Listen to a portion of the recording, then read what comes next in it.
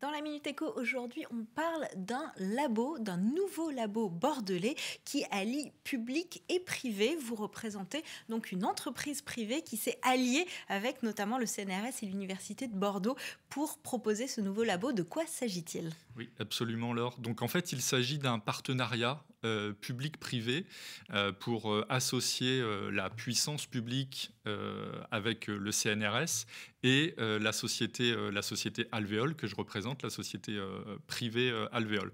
le but de ce laboratoire, on l'appelle LabCom pour laboratoire commun, c'est vraiment d'associer la puissance publique, les moyens matériels de la puissance publique au sein de l'Institut des neurosciences de Bordeaux, et chapeauté par le, le, CNRS, et les intérêts de la d'une société privée pour faire euh, avancer la recherche, commercialiser des outils euh, toujours plus innovants.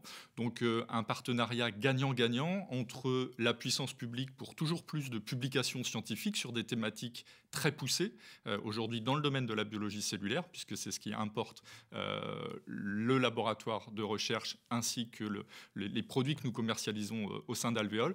Et pour Alvéole, être en lien permanent avec des équipes internationales de recherche sur des sujets de pointe. Alors, biologie cellulaire, mais encore, qu'est-ce que vous allez commercialiser très concrètement? Donc, nous commercialisons euh, d'ores et déjà, depuis euh, quelques années euh, maintenant, depuis 4 ans, un outil qui permet aux chercheurs, donc c'est un équipement de laboratoire, qui permet aux chercheurs d'améliorer la façon dont ils cultivent les cellules et dont ils les, les, étudient, pour leur permettre en fait de se rapprocher en laboratoire des conditions du vivant.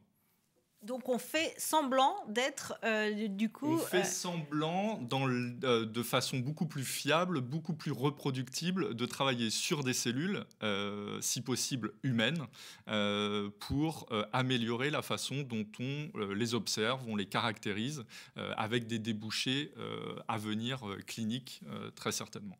Merci d'être venu nous parler de ce nouveau laboratoire bordelais et à demain pour la Minute Éco.